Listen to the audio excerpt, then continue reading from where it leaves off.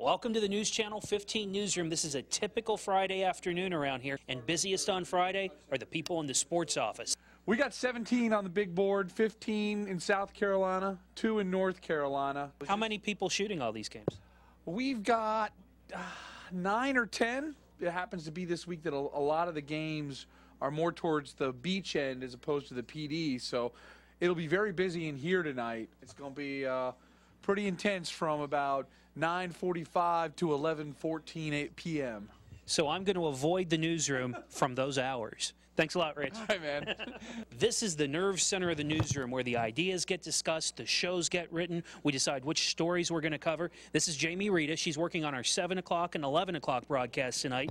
And this is Johnny Green. He's our executive producer and our 6 o'clock show producer. He's working on a show right now. Johnny, what you doing? Right now, actually, I'm training our new producer who just joined the team, Jennifer Ah. Jennifer? Oh, Johnny's just teaching me how to write teases for the next newscast. How's it going so far? You're you're our newest producer. You're working on the overnight show, and eventually you might even get on camera a little bit. How do you feel about things so far? Uh, it's great, and I love the area. I love Myrtle Beach. Good answer. Thanks.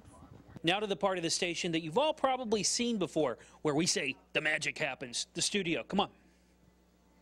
We're going to start in the studio, and probably one of the most interesting parts of it, this big blue wall. You probably don't recognize it, but it's something, believe it or not, you see every night.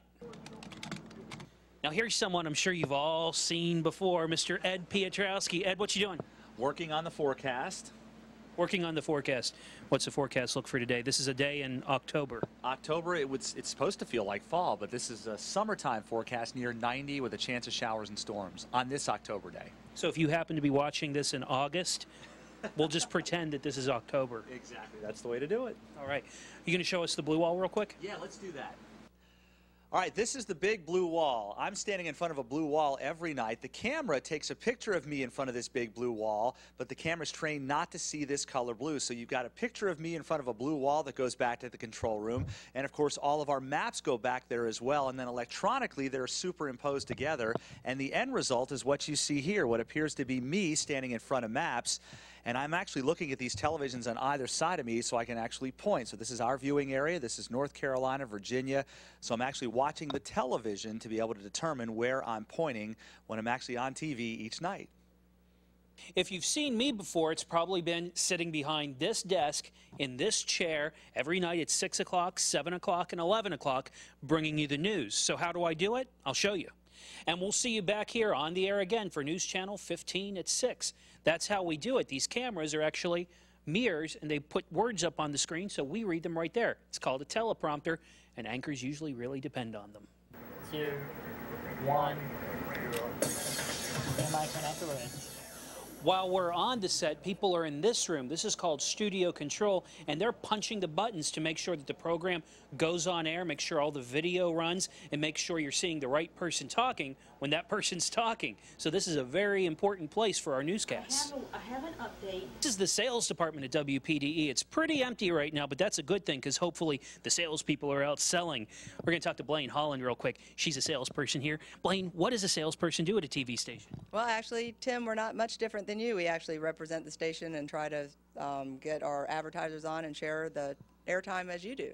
So you bring money into the station. You pay our bills. Uh, that and you do too. All of us, all of us pay our bills. I'll say that. All right. Thanks a lot, Blaine. No, no, you can't get away with that. This is Cameron Murray's office. Cameron makes our show Carolina and Company with Amanda Kinseth. What you working on right now, Cam? Well, as a matter of fact, I am editing a segment that's going to run in two weeks for our lovely uh, clients with Sandy Cooper. As a matter of fact, What it for people out there that don't know what Carolina Company is? Tell me real quick what it is and when you can see it. what we do is we go around and to the entire Grand Strand, the Pee Dee. We like to highlight businesses, events, uh, groups, charities, and put them on our show. And uh, you can see it every weekday at noon on ABC, 11:30 at night on the CW, and 8 a.m. on weekdays on the CW. And if Cam looks familiar, that's because we saw him in sports a little while ago. He's going to be shooting football later tonight, right? High school football, nothing better than that. Rock on. So that's a quick tour of WPDE. Of course, there are a lot of people we didn't have a chance to introduce you to who help put the news on every night. Once you come by the station sometime, we'll introduce you to them.